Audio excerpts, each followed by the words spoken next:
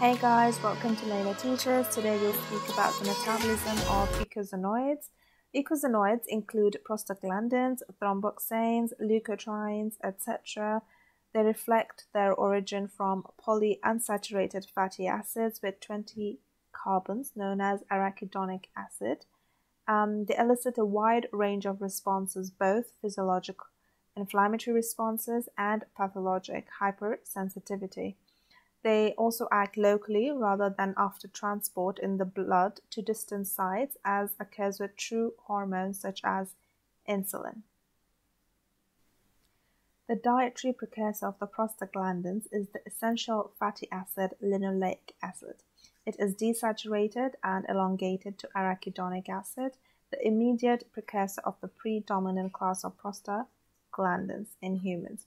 Arachidonic acid is incorporated into the membrane-bound phospholipids and it is released by phospholipase A2.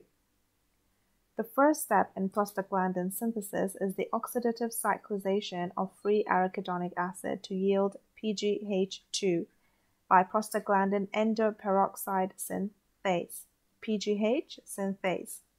This enzyme is an endoplasmic reticular membrane bound protein that has two catalytic activities.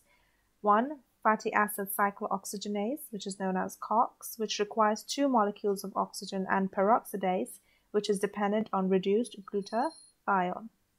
Two isoenzymes, usually denoted as COX1 and COX2 of PGH synthase, are known. COX1 is made constitutively in most tissues and is required for maintenance of healthy gastric tissue, renal homeostasis, and platelet aggregation. COX2 is inducible in a limited number of tissues in response to products of activated immune and inflammatory cells.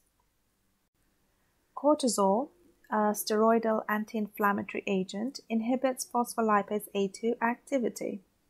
This stops the whole process Aspirin, indomethacin, and phenylbutazone are all non-steroidal anti-inflammatory agents known as NSAIDs that inhibit both COX-1 and COX-2 and thus prevent the synthesis of the parent um, prostaglandin PGH2.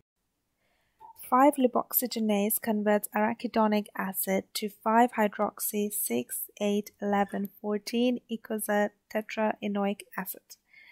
Don't worry, you can just remember it as 5-HPETE. Now this 5-HPETE is converted to a series of leukotrienes, and leukotrienes are mediators of allergic response and inflammation. Their synthesis is not affected by NSAIDs. Here you can see the 5-lipoxygenase pathway going into 5-HBET and leukotrienes. Now, uh, thromboxane A2, uh, TXA2, is produced by COX1 in activated platelets.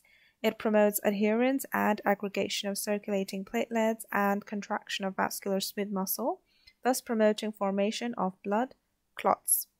Prostacyclin, PGI2, is produced by COX2 in vascular endothelial cells. It inhibits platelet aggregation and stimulates vasodilation, so it impedes thrombo genesis. Okay guys, that is it for this video. I will see you in the next one. Bye.